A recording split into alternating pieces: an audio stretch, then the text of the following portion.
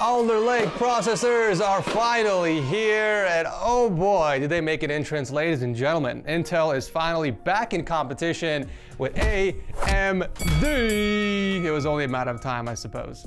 The one big drawback with the new 12th gen processors is that they are not backwards compatible with older generation motherboards, and that's because it is using a new socket type LGA 1700. This means the processors will only work on the new Z600 series motherboards from Intel, which also brings in some nice new features like PCI 5.0 and of course DDR5 support.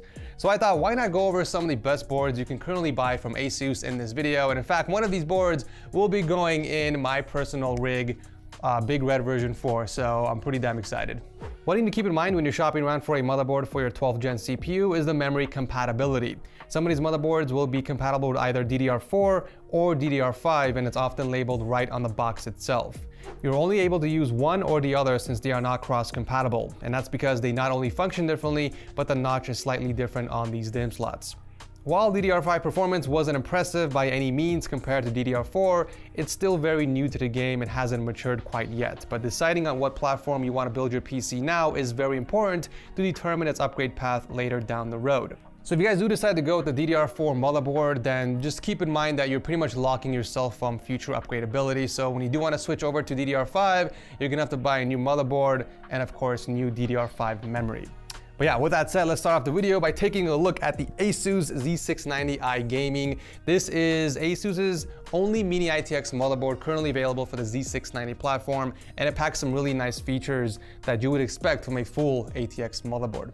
I do want to start off and quickly demonstrate the CPU installation because it is slightly different on these new socket types. You still get one lever on the right side, but the cover is flipped upside down. So you would need to pull it open from the top instead of the bottom. Pretty cool.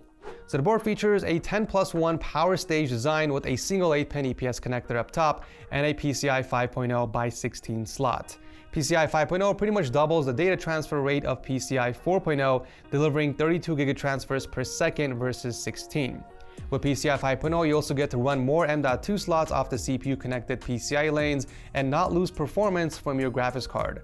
There are also faster lanes on the chipset, allowing devices to use fewer lanes to achieve their full performance, which just means the motherboard manufacturers have flexibility on where to put them. And that's kind of what we're seeing here, as ASUS stacked both of the M.2 slots on each other to take advantage of the limited space. This board is DDR5 compatible, so it will only work with DDR5 memory in dual channel up to 6400 MHz overclocked.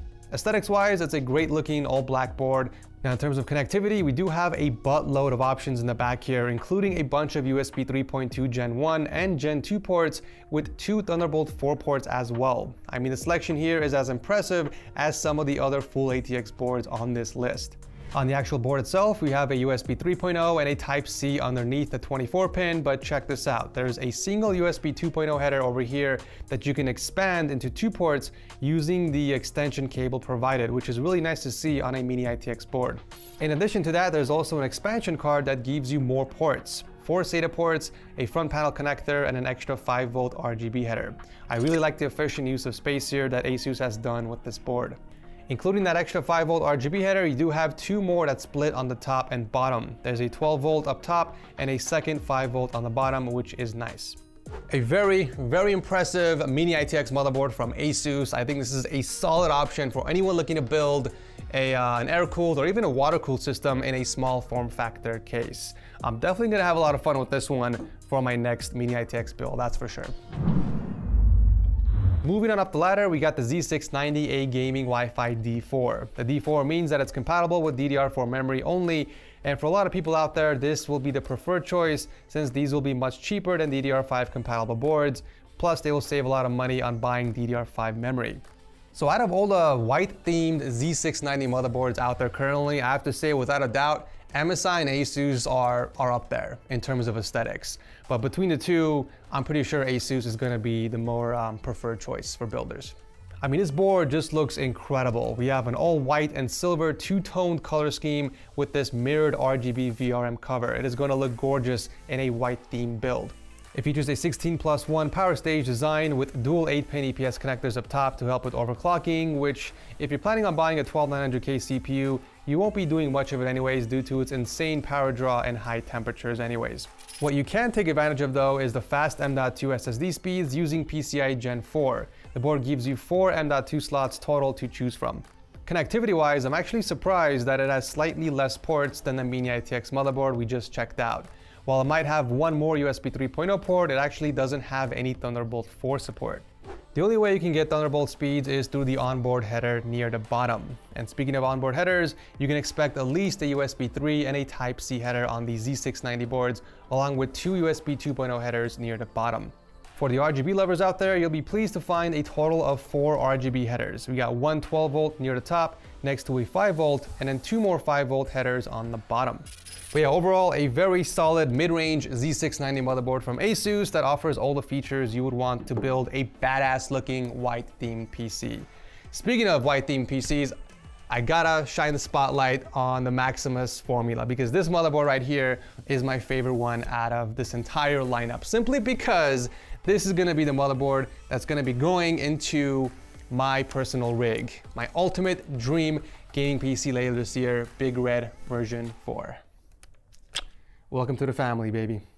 It's pretty obvious why I chose this motherboard. I mean, it is the cleanest looking Z690 board out right now, but it's also packing all the features I'm personally looking for in my build. Let's start with the performance side of things. So this board actually has a 20 power stage design, but it features a teamed power stage design. Each VRM component serves a specific purpose. The PWM controllers control the circuit, and the power stages do the heavy lifting from an electrical and thermal standpoint. This all contributes to overall lower temps while improving thermal headroom. Not to mention the board features a built-in water block for the VRMs. With how demanding the new 12900K processors are, I will need all the extra cooling I can get to achieve a nice and stable overclock. Of course, Big Red version 4 deserves the best components, and while DDR5 doesn't have staggering performance over DDR4, it is still the best in the market and I do plan on future-proofing this build, so going with DDR5 is a no-brainer for me, especially when we can expect better performance in the coming years. So when I build my ultimate dream setup at the new home, I'm going to have a ton of gear connected to my gaming PC. So having all the extra connectivity is going to be really important to me. So I do appreciate the extra USB 3 and Type-C ports in the back here. The board also features a USB Type-C and two USB 3.0 and 2.0 headers as well near the bottom. Now for onboard storage, you do get three PCI Gen 4 M.2 uh, slots right on the motherboard, but you do have the option of adding two more using the HyperCard that's included. But get this, one of them actually is PCI 5.0 ready. So when those storage devices start coming out, I'll be popping one of them inside this build. But as of now, I'm just gonna keep things simple and throw in only two 8TB M.2 SSDs, which is more than plenty. I also love the onboard start and reset buttons which will come in handy during my build, along with four of the RGB headers to choose from. But yeah, lots and lots of stuff to be excited about the Maximus formula. I cannot wait to start building with this bad boy and show you guys Big Red version 4 coming up later this year. So make sure you guys are... Whoa, whoa, whoa, whoa, whoa, holy crap. No, not like this. So yeah, make sure you guys are subscribed with notifications on uh, because you definitely don't want to miss it. So these last two boards are somewhat similar in the sense that they are the highest tier boards that ASUS has to offer. The Extreme is like the bigger stepbrother compared to the Hero. The Extreme is an $1,100 motherboard, so for those looking to get the best of the best, this is it. You reach the top. There's literally nothing else above this. But we will start with the Hero first. Much like the Formula, this also features a teamed power stage design with exceptional VRM and chipset heatsinks. Personally, I think the Hero will make an excellent board for an all-black anti-RGB build, but at the same time, it can still satisfy the RGB lovers out there with its really cool and refreshing individual lit LED display on the VRM heatsink cover. Everything else in terms of connectivity is pretty much the same compared to the Maximus formula. We got the same amount of ports in the back, along with the same onboard connectivity, including a matching black HyperCard to add two additional M.2 SSDs. I guess you can think of the Hero as the black version of the formula, but without the VRM water blocks. All right, guys, now for the Maximus Extreme. This is an absolute unit of a motherboard and it's so freaking heavy. It feels like I'm holding two power supplies. I am not even exaggerating. It's also a lot bigger because technically it's an extended motherboard. So what does $1,100 get you, you might be asking? Well, pretty much everything except a back rub and a happy ending. We got a whopping 24 plus 1 power stage design with monster VRM heatsinks that extends over to the top M.2 slot, which also has a LiveDash OLED display. That's pretty damn cool.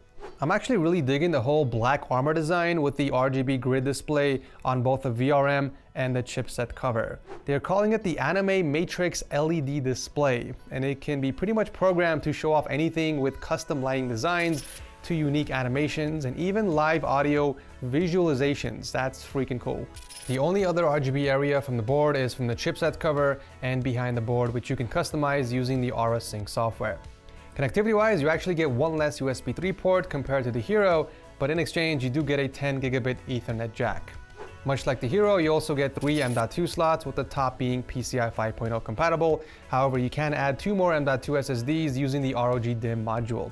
With a super high price tag of $1,100, you do get some extra accessories as well, like a USB-C DAC for your audio devices, an RGB fan controller that supports up to 8 fans, along with a triple 5-volt 3-pin splitter cable and a black screwdriver to help you build your system.